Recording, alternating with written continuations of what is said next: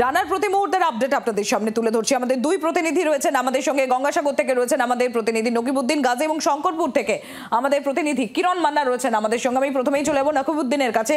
নকিবুদ্দিন, ওখানকার আবহাওয়ায় এখন কীরকম এবং প্রশাসনের তরফ থেকে কি কি সতর্কতা নেওয়া হয়েছে?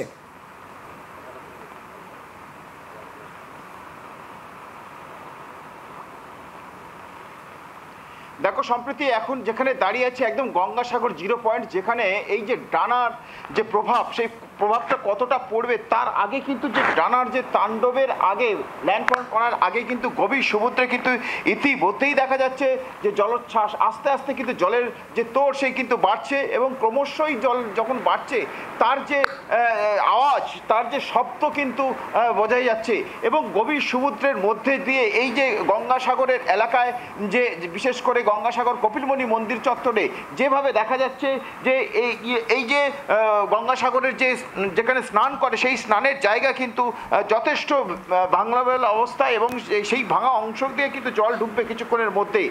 ফলে যে জল বাড়ছে ধীরে ধীরে সেটা দেখা যাচ্ছে। এবং আরেকটা জিনিস বলে রাখি এই যে প্রাকৃতিক দুর্যোগ ঘটনা যখনই ঘটে তখন কিন্তু গঙ্গাসাগরের যে মূল যে জায়গা সেই সেই জায়গা কিন্তু আছড়ে পড়ে। ফলেই কিন্তু অনেকটাই আগে থেকে প্রশাসনের পক্ষ থেকে যে নজরদারি এবং তার যে ব্যবস্থাপনা সেটা কিন্তু নেওয়া হয়েছে।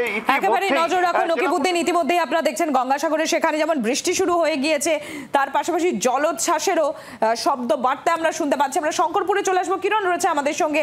কিরণ, কি দেখছ ওখানে?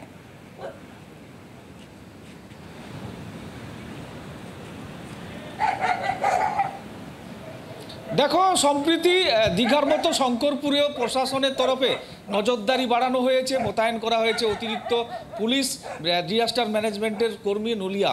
এখানেও প্রশাসনের তরফ থেকে সকাল থেকে মাইকিং চালানো হয়েছে যাতে কেউ সমুদ্রের কাছে পিঠে না যেতে পারে এবং এখানে সমুদ্র বেলা গড়িয়ে রাত যত হচ্ছে তত সমুদ্র ধীরে ধীরে উত্তাল হচ্ছে। অর্থাৎ প্রাকৃতিক দুর্যোগ যে আসছে, সমুদ্র তার কিন্তু যথারীতি জানান দিচ্ছে। আমি রাতের এই- এই সমুদ্র একটু দেখাতে পারলে ভালো হতো, কিন্তু এখানে যারা পর্যটক ছিলেন, তাদেরকে এক চলে যেতে বলা হয়েছিল গতকাল থেকে প্রশাসনের তরফে। সেই পর্যটকেরা, তারা সমুদ্রে না নামতে পেরেছেন এবং প্রশাসনের কথা শুনে আজকে দুপুর থেকে যথারীতি গন্তব্যস্থলে তাদের বাড়িতে বেরিয়ে চলে গেছেন।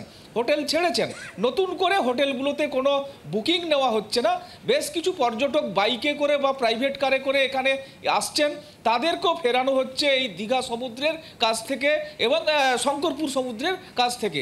এই যে শঙ্করপুরের যে বিচ বা শঙ্করপুরের যে এই যে সিডাইক বাঁধ মেরিন ড্রাইভ এগুলো থেকেও সরানো হচ্ছে সব কিছু বাংলার আওয়াজ, বাঙালির আবেগ। জি, চব্বিশ ঘণ্টা।